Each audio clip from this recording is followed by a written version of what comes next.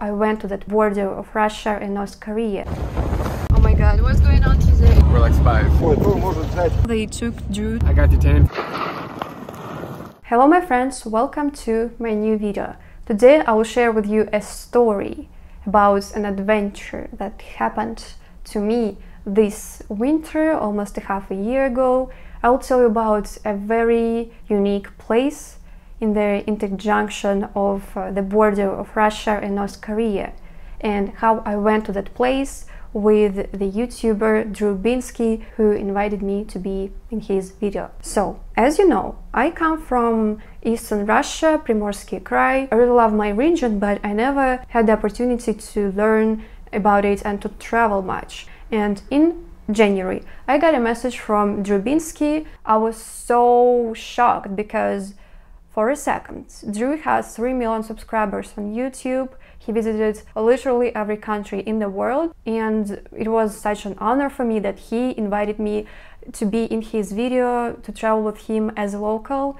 And of course, I was nervous, but I agreed to go with him to that adventure. I'm so excited to share this story with you, to show you the landscapes, to show you the town on the border. Well, actually, we did not get to the town because we were detained by the border guards, but I'll tell you about this later in this video. And now, let's begin!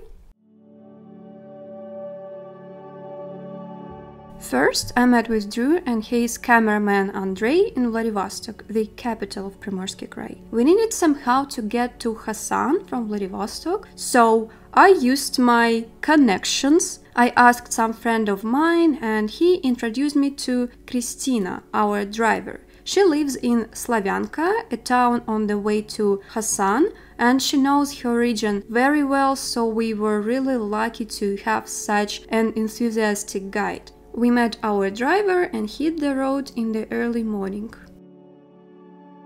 Going on a new adventure and today I'll show you the south of Primorsky Krai and today I am accompanied by Drew Binsky. Hey guys, Hi. what's up? We're here. We're driving from Vladivostok to Khasan, which is the border town of North Korea. And um, thankfully Natasha was able to join me. Personally, I've been to North Korea, so I have a, some kind of connection with it because I can also speak a little Korean from living in Seoul. So I just uh, really fascinated by Korea as a whole and the fact nobody knows that Russia borders North Korea. They always think about China and South Korea. So yeah, it's gonna be it's gonna be really interesting. I'm excited. Yeah, let's go. Uh, isn't it gonna be covered by the clothes? It's okay. Okay. It's so good. We're like spies.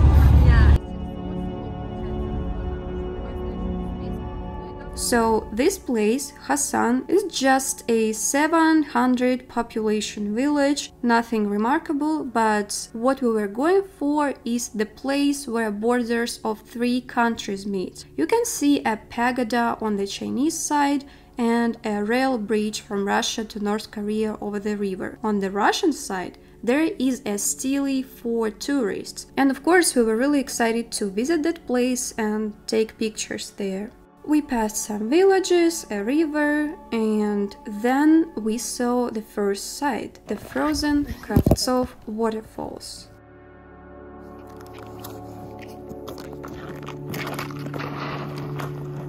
Waterfalls. Wow. It's really cool. I've never in my life seen a frozen waterfall, Yeah. and uh, I didn't even know that was possible for a waterfall to freeze. But pretty cool. I'm frozen too. Красиво, да. I'm sure in summer this place looks just as beautiful. But after a few minutes, winter just disappeared. The landscape and the climate is changing so fast. So we drove like 10 kilometers from the previous village and you see just yellow valleys here. It's pretty cool. It's almost like we fast forwarded like two months into March or April because all the snow is melted and it's it's really and, and the mountains are much smaller. So um, Yeah. traveling Time. right now we're about one hour out from the uh, Khasan, which is on the border of North Korea and China and Russia. So now Drew is going to start the drone. It will be following our car. Are you in sports mode? Yeah, I'm in sports mode. This trip showed me behind the scenes of how travel vloggers make their videos. To get just a couple of seconds of roadside or drone footage of the car, we had to stop frequently to reposition the cameras, but it was worth it. We are beginning the last segment of route and you can see that the road here is literally ends. The rest of our route will be really exciting. We call it Russian massage. This is what we have to overcome when we when we want to get to the border. Yeah, Do you yeah. like this road? Yeah, it's, it feels like adventure is happening. Yeah. Finally, we drove up to Khasan.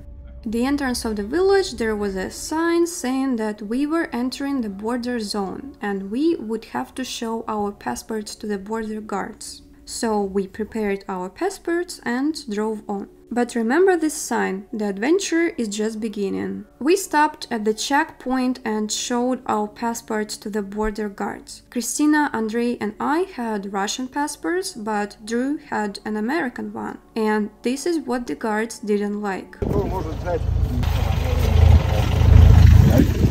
They said that since he is a foreigner, he cannot go further and visit that tourist place. I thought we were going to just go back, but it's not all. So that military guys asked us to show our passports, and uh, three of us showed us. It's like Russian passports, but for a foreigner, he needs some kind of permission. And now they took Drew to like to some building, and he doesn't speak any Russian, and we actually don't know like how how long it's gonna take the The border guards said that Drew violated Russian law by entering the border area, which is the Khasan village, and the guards have to take him to their building to file a misdemeanor protocol, and that the punishment can range from a fine up to deportation.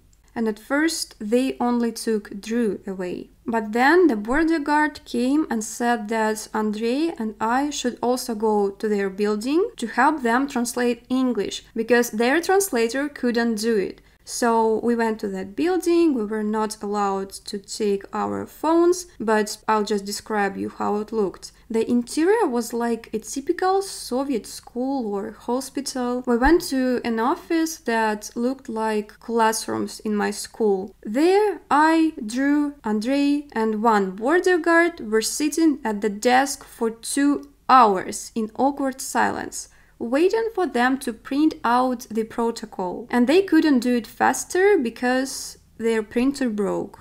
The guard seemed to be shy. He tried to have a small talk, asking us to ask Drew about his impressions about Russia. It was funny but also scary. Finally, they printed the protocol and everything worked out well for Drew. So Drew, how do you feel about all this? What happened?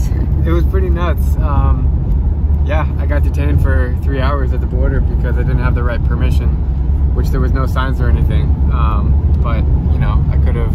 I took the risk to go down there, and I thought I was going to get through. And we had the pass. We had the ID check, and all three of you guys, all Russian passport holders, was fine. I, I kind of held my passport to the very end because I thought they were going to say go, go, go.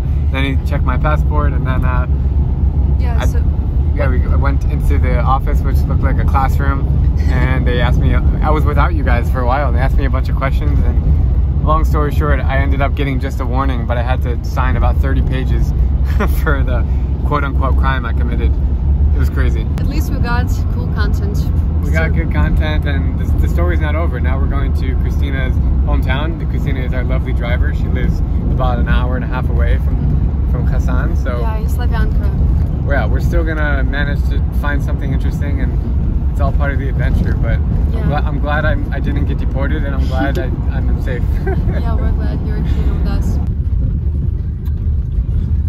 And maybe now it seems to you that it was so stupid to go to that town being a foreigner.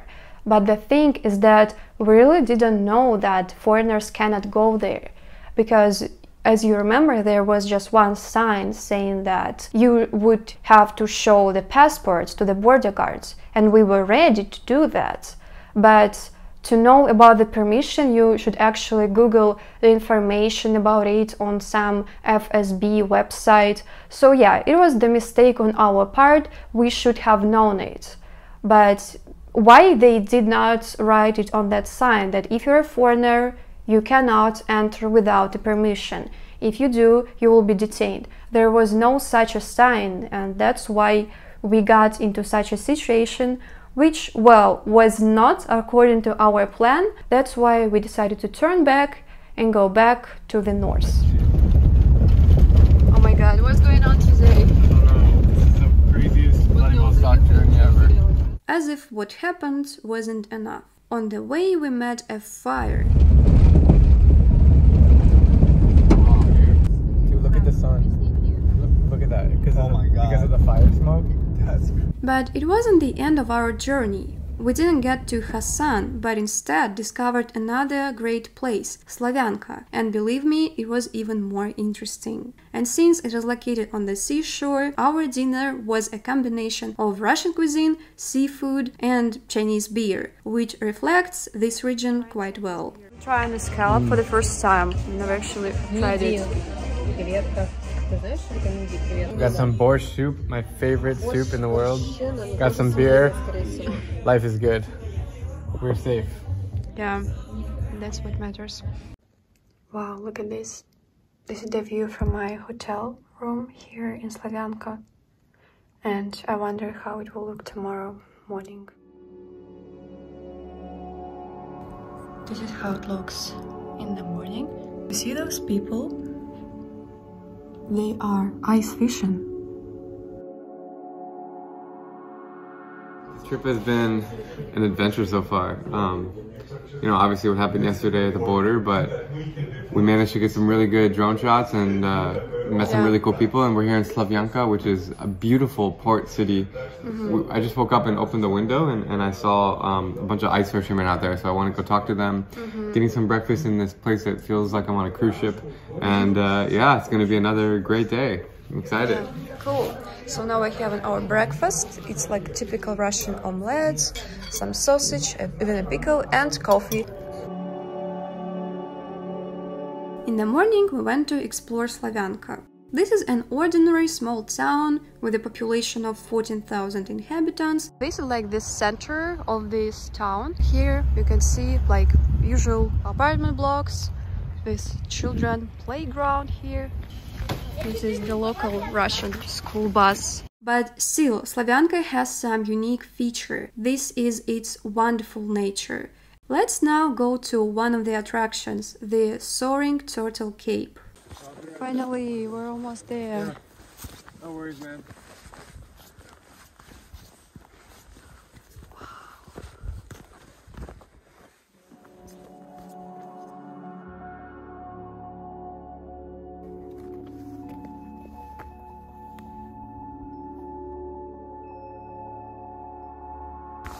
guys are feeling there. They all got pretty good shots.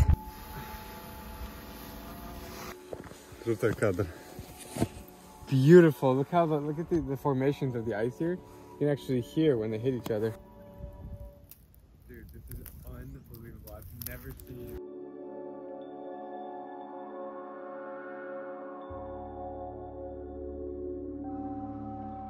There, at the top of the cliff, I was mesmerized by the beauty that opened up. So spectacular. There's some birds, baklan. So, Drew, you as a person is one of the few person on this planet who traveled and visited all the countries. Yeah. What can you say to the people who want to travel? What is your main um, idea that you got from all these experiences? My motto from traveling, and it sounds really simple, but it's the two words just go. It's actually what I wear on my chest all the time just go. Because I truly believe that living spontaneously is the best way to do it. A lot of times, everybody tries to plan too much and they get too anxious and they're overthinking everything. But if you just go, go with the flow, good things always happen. And at the end of the day, it's always going to work out. Um, you know, and, and, you know, I'm very optimistic and I just love meeting new people and having incredible experiences. And once you keep traveling, you realize that you don't you don't know anything about the world because you keep learning more and more and more. The world's a really big place, and everybody is super kind and super friendly. So, uh, my my whole motto, my whole mantra is just to get out there and get outside your comfort zone and um, if you guys ever have any travel questions or you need any more advice, feel free to reach out to me. I'm Drew Binsky on all social media. Um, but yeah, it's, it's a pleasure meeting cool people like Natasha here. We've been having an awesome trip together and I'm very fortunate and grateful to do this. So yeah, the world's a beautiful place. The world is a lot safer than you think. And um, I'm truly blessed to be able to do this for a living. Cool. Thank you.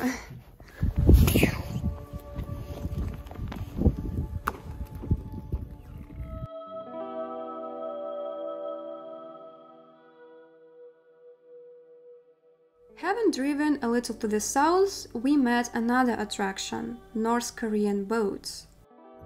Oh my god! See those ropes?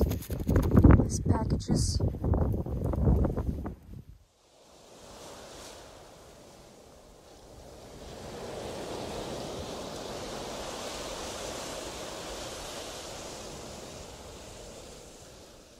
These are schooners of North Korean sailors who got into a storm and washed up on the Russian coast in 2019. Some say that the boats were empty because the sailors evacuated from them, but others say that all of them were deported back to Korea. Later, I learned that, in fact, in the recent years there were many cases when such schooners came to the Russian base. And these are poacher boats, and it's really common for North Koreans who live in poor provinces because it is the only way for them to make money, even risking their life. Once the North Korean poachers attacked the Russian border guard. There even was a shooting between them, and one poacher was killed, others were arrested, and I don't know what happened next. These boats stay here in Slavyanka as a tourist attraction and people dismantle them for souvenirs. By that time we were already hungry, but if yesterday we had dinner in an expensive restaurant, today we decided to have lunch in a simple eatery in the center of the town. This is probably the busiest place here. There were a lot of people, everyone seemed to know each other in this small seaside town, and they were so surprised to see us, foreign tourists. Yes, we ate some usual shawarma and mediocre coffee, but as they say, food is food. I really enjoyed the atmosphere of this place.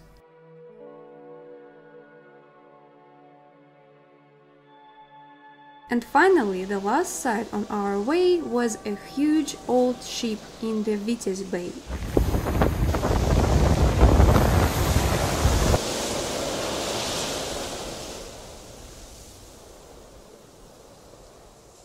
No one can say for sure how old it is, but it is known that it has been standing here since Soviet times, so it might be about 50 years old. The sea does not freeze in this bay, but look how unusual the foam looks.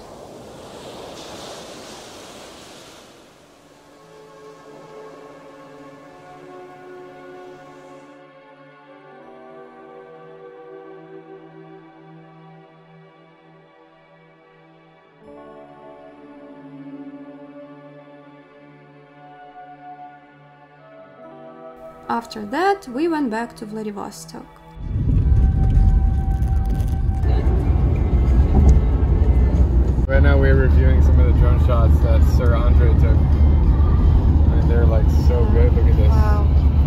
Way, if you want to enjoy the views of the nature to the fullest, you can watch them on Drew's channel. The link to his video about this adventure will be in the description. So this is the end of our trip. Drew, thank you very much for inviting me to this journey because I must say it was the first time when like this is the best video on my channel in Really? terms yeah in terms of uh, the- Adrenaline. Yeah adrenaline the beautiful content the experience that i got from you Awesome. and from your professional like attitude approach to this work and yeah i was worried in the beginning because i was worried "Well, what if it's gonna go not according to the plan which it happened. Yeah. What if he's gonna die? yeah. We. I mean, we were stopped at the border. Yeah. So, anyways. yeah, it was super fun for me too. I'm really happy to share the adventure with you, especially because you're from this region, so you give a lot of good context, and and you're a local. So I'm not a local. I'm just here as a tourist, and I had a blast. It was super fun. I can't wait to see your video, um, my video. It's gonna be really awesome. So thank Yeah. you for the adventure. Yeah, guys. So subscribe to my channel. Subscribe to Drew's channel. Tap likes. Write your comments. I really appreciate this. Thank you very much. I'll be checking the comments too. I'm gonna respond, so you better comment. Yeah. Bye, guys. Bye. See ya. Bye. So this is the story that I wanted to share with you, even though we did not get to the border, didn't take pictures on the backdrop of three countries, but at least we discovered Slavyanka, its unique sites. I hope that you liked these beautiful sceneries. Thanks for watching once again. Thank you for all your support. I'll see you very soon. Goodbye. Пока-пока.